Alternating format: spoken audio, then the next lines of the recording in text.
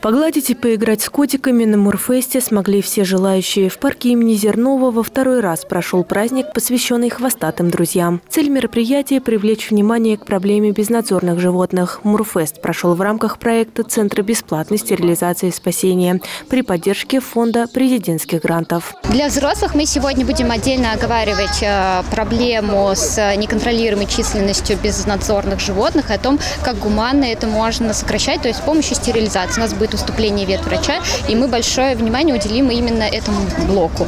А для деток это в первую очередь, и, конечно же, котики, то есть как правильно ухаживать за котиками, как с ними играть, то есть это более такое для них э, творческое, веселое. На празднике гости смогли послушать консультации ветеринарного врача и грумера, а также принять участие в интерактивных играх, викторинах и творческих заданиях. Сегодня я познакомилась с разными котиками, они были прикольные очень милые. Я совала руки в клетку, они меня не кусали, не царапали, были очень миленькими.